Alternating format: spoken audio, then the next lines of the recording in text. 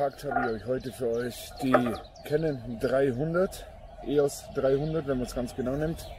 Eine analoge Spiegelreflexkamera. Ein wahnsinnig super neues Teil, verhältnismäßig in dem, weil wie gesagt, was ich vorher sonst immer habe. Normalerweise ähm, habe ich ja immer ältere Kameras. Die ist jetzt Baujahr 92, 93, also wirklich relativ jung, aber dennoch fast naja, 30 Jahre auf dem Buckel, gell? also funktioniert noch wie am ersten Tag.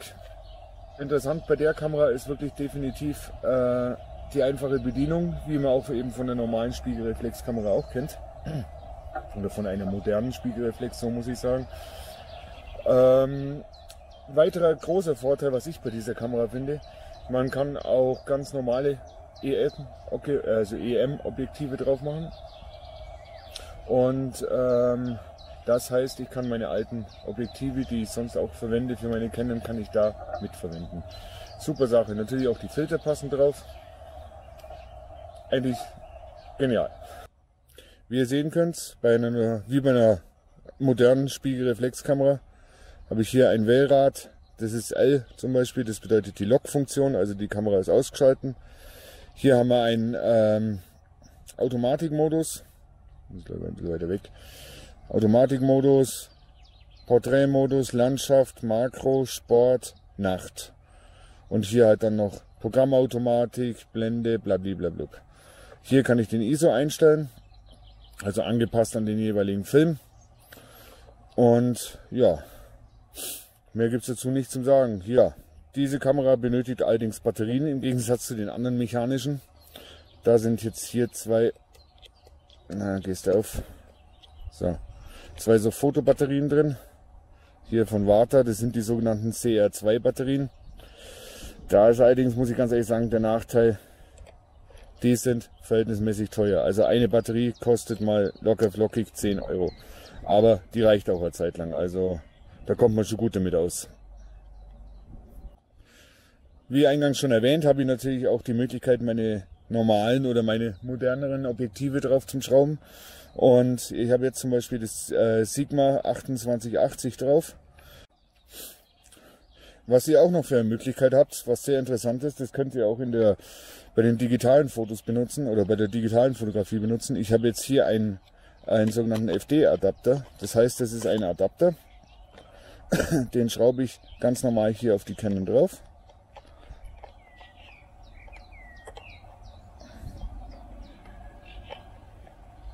So, der ist jetzt fixiert. Und dann kann man zum Beispiel noch die ganz alten Objektive benutzen. Wie hier zum Beispiel ein äh, Vivita 50 mm. Nee, Quatsch, es ist, war bloß die Linse, äh, war bloß die Abdeckung. Das ist das Canon 50 mm 1.8er, wie ihr schon seht, mit altem Bajonettverschluss, also mit dem DF. Und der passt nämlich auch da drauf. So, ist allerdings ein bisschen eine knifflige Sache. So. Und hier noch verriegeln. Und dann könnt ihr wunderbar auch mit den alten Objektiven äh, schöne Fotos machen. Hat manchmal auch einen richtig schönen äh, Vintage-Look. Und äh, man spricht auch umgangssprachlich von so alten Objektiven, von sogenanntem Altglas. Diese sind auch recht, recht günstig zum Kriegen. Also für das 50er habe ich gezahlt, ich glaube 4 Euro bei eBay, wenn ich mir recht entsinne. Also das ist relativ echt günstig. Nachteil natürlich, hat keine, äh, kein Autofokus, man muss also alles hier manuell einstellen, aber wer das kann, ist ja kein Thema. So, jetzt habe ich wieder mein Sigma drauf. Ich finde, das passt auch optisch recht gut zu der Kamera drauf. Das passt, das ist gleiche Farbe.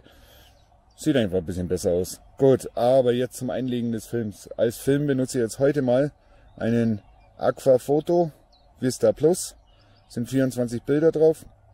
Mit einem ASA-Wert oder DISO-Wert von 200. Das ist in Ordnung. Damit kann man schön was anfangen. Ist ein Farbfilm. Wie gesagt, einlegen ist bei dieser Kamera piepen einfach. Ich meine, wer sich daran erinnert, wie zum Beispiel bei der Paxette, äh, wo man da einen Film hat einlegen müssen oder wie man den einlegen müssen, indem man hier unten aufschraubt, das ganze Ding rausnimmt, Film einlegt oder eben auch bei den Mittelformatkameras. Ähm, da wird es schon recht interessant. Also, tun wir mal einlegen. Mal sie mal an. Gut, Klappe auf. Ihr seht es auch schon hier. Das ist ein Motor. Gut, der Film wird eingelegt.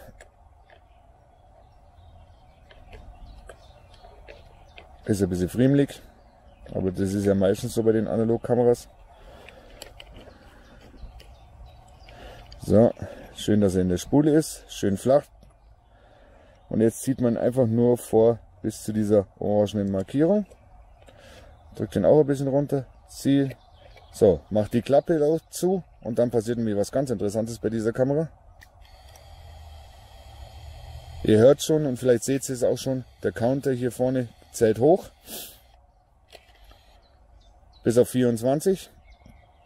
Das heißt, kann man sagen, die Kamera spult den Film von der Rolle komplett einmal rüber und dann bei jedem Bild, was geschossen wird, geht's eins zurück.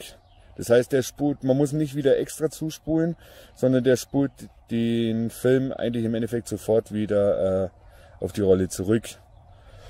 Ist ein Vorteil. Dann kann man es zurückspulen, nicht vergessen. Ist ganz einfach und passt. Ja, so viel zu der Kamera selber. Ah, ich habe also jetzt die Erklärung recht minimalistisch gehalten. Ich, ich denke mir, man muss einfach mal das Gerät selber in die Hand nehmen und auch selber ein bisschen rumtüfteln.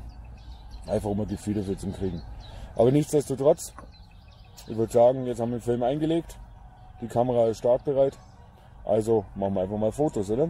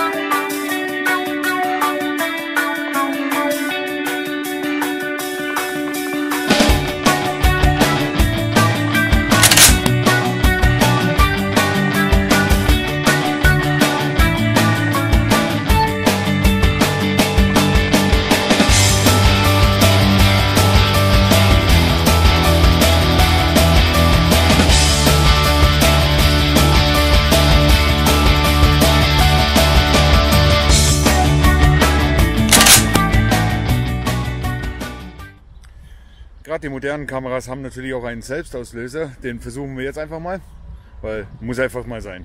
Man muss sich auch mal ein bisschen selber porträtieren, so gut es geht.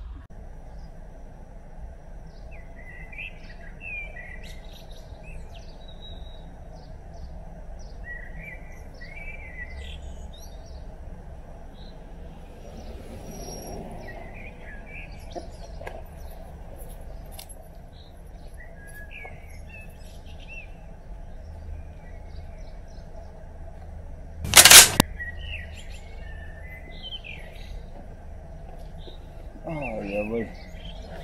So. Ah, ich weiß gar nicht, wie drauf bin, aber egal. So, schauen wir mal, ob es was geworden ist. Ich hoffe schon. Es kommt auch immer wieder zu netten Begegnungen. Wenn ich dran denke, jetzt gehe ich mal auf die Seite. Das ist nicht besser, jawohl. Also, es kommt immer wieder zu netten Begegnungen, wenn man jetzt unterwegs ist. Jetzt habe ich gerade eine Bekannte getroffen, haben uns ein bisschen unterhalten. Die war mit ihrem Hund unterwegs. Ja, und da hat sie mich gebeten, dass ich vielleicht noch mal ein oder andere Foto vom Hund mache. Jetzt habe ich zwar nur in Anführungszeichen die Analogkamera dabei, habe ich trotzdem gemacht. Schauen wir mal, wie die Fotos werden. Und ähm, ja, die werde ich hier natürlich dann rüber senden und ihr könnt sie natürlich auch anschauen.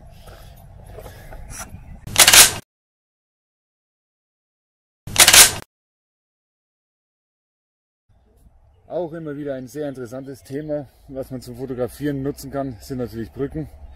Brücken finden irgendwie jeder toll und äh, darum würde ich sagen, dann machen wir doch mal gerade hier eins von dieser schönen Brücke hier Und ja, blende ich euch natürlich an.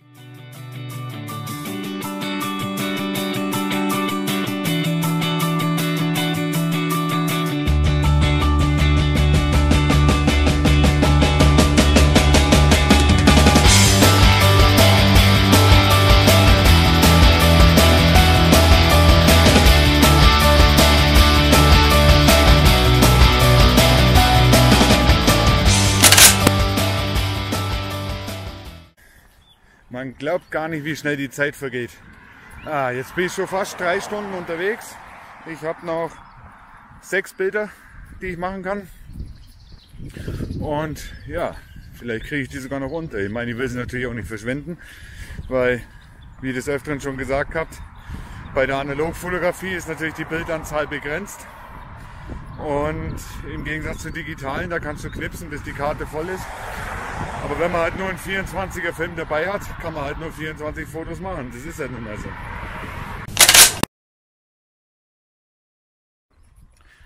Wie ihr gerade eben auf dem Foto gesehen habt, ähm, man darf auch die kleinen Dinge nicht vernachlässigen.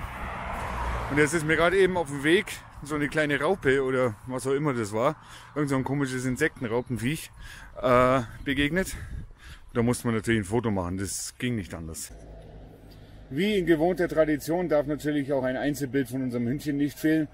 Äh, ich habe mir dazu jetzt hier diese Parkbank ausgesucht und dann kriegen wir bestimmt auch ein schönes Bild hin. Ich habe zwar schon eins gemacht, aber vom Hündchen kann man nie genug Fotos haben.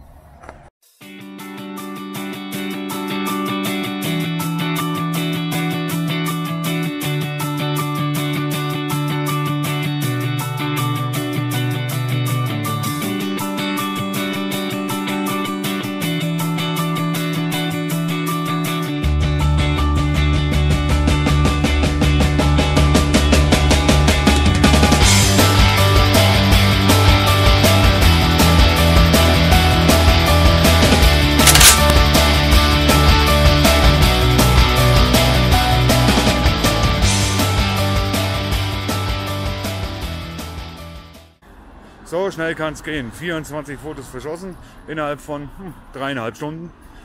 Ja, man sucht sich halt seine Motive dann doch ein bisschen anders aus. Gell? Aber aufgrund dessen, dass ich sowieso in der Nähe vom ähm, Drogeriemarkt bin, nehme ich den Film raus und tun dann gleich zum Entwickeln bringen. Dann haben wir das auch gleich erledigt. Und dann, wie gewohnt, sieben bis zehn Tage warten.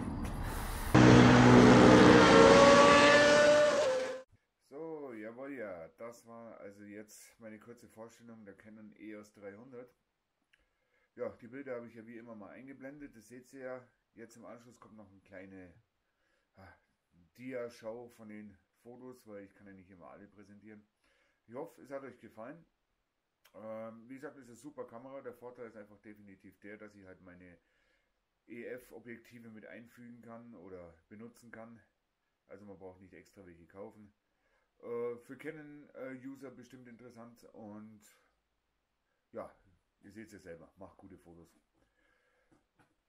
Jetzt gibt es eigentlich nicht mehr zum Sagen, außer halt wie immer gut Licht. Bleibt mir treu und äh, ich versorge euch nach wie vor mit äh, Kamera-Reviews, gerade so alte Kameras. Schaut einfach das nächste Mal wieder rein. Schaut auch auf meine Facebook-Seite rein. Würde mir auch freuen, wenn ihr mal den einen oder anderen Daumen gebt.